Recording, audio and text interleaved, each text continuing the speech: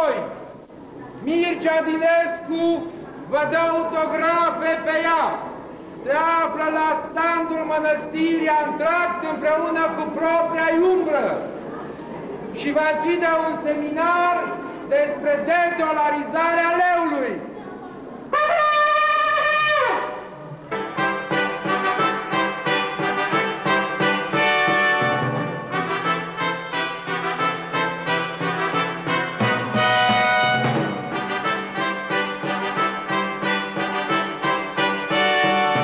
Eu nu am făcut decât un uh, act sinucigal, de fapt, de a semna pe o bancnotă de 1000 sau de 500 uh, câteva versuri, uh, în speranța că măcar uh, lumea se iluzionează, că uh, uh, poezia ține de iluzie, în vreme ce ban, uh, moneda noastră națională ar trebui să nu țină de iluzie, ci de lucruri absolut concrete.